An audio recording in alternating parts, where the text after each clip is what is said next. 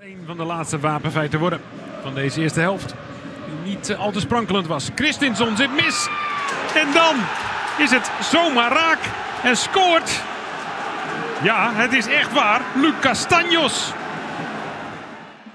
Over Burnett. Dabo. Bal over Zwarthoed heen. En dan uit de draaien. En dan is het ja. Hoe snel kun je scoren? Dan is het Luc Castanjos. Maar die kon het toch helemaal niet? Ken ik wel in deze wedstrijd. En kijk ook de lachende gezichten. Dat zegt ook wel wat. En natuurlijk gaat er ook weer wat complimenten uit richting Linsen.